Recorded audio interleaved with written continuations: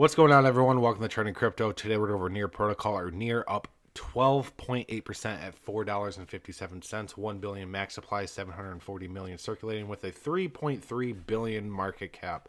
All-time high is 2044 six months ago. All-time low is one year ago.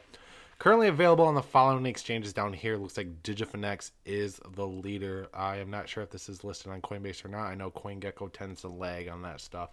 So with that, let's get into the price prediction and technical analysis on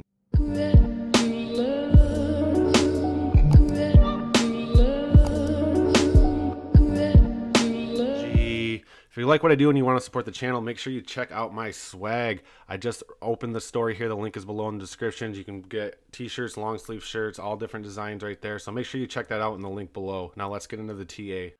Okay, everyone, let's get in the near. We're to start in the day and work our way to the four hour. On the day chart, this thing is ripping. We broke above this resistance, flipped it into support, and the candle is just growing. RSI is tailing up. Definitely have room to run to the overbought at 79.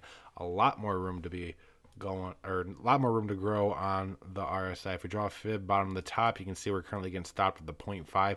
It looks like near wants to go up to the 382. You have room to do it. MACD is just converting bullish.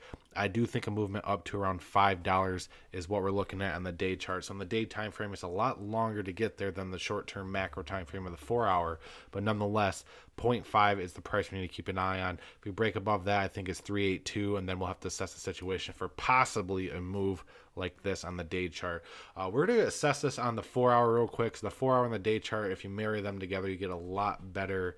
Um, time frames on the movement of this coin. So short term on the four hour, if we jump to the auto, we did just break above this resistance, which we battle tested, looked like all day today. Finally flipped it into support, but barely support right now. So we need to continue that upwards movement to continue to have that as support.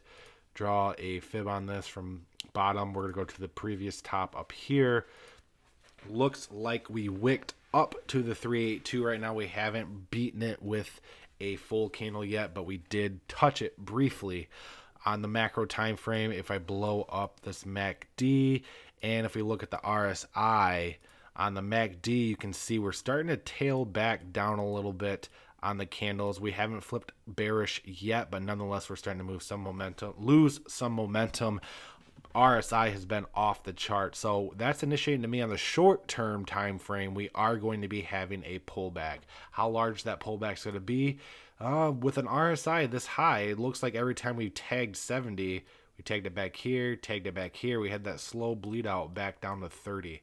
Uh, we didn't really tag it back here. So just looking at the larger time frame of stuff, every time we've been in this general area on the RSI, we've retraced back down to 30.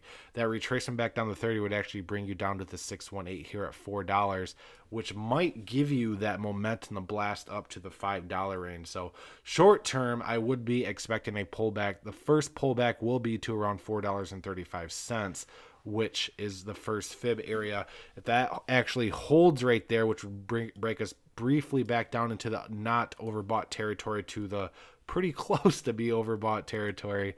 Um, we could see a slight bounce there and then a blow off top at around five dollars in that retracement.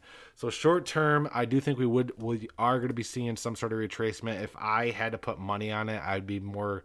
I'm more of a, you know, hesitant type of guy, I'd be looking for a $4 retracement. I know we are at 453 right now. We do have a fib here at 437. So 437 is your next stop. If you see a bounce from there, I'd be keeping an eye on $5. If you see us break below 437, then keep an eye on the 618. So 437 is going to be the storyteller.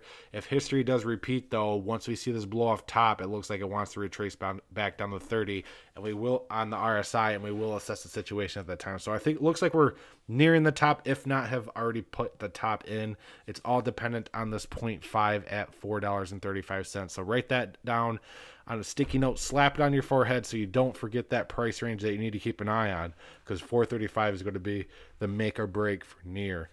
So with that, none of this is financial advice. And if there's any coins you'd like me to chart, or if you'd just like to chat with me, make sure you join my Discord channel. You'll find the link below in the description.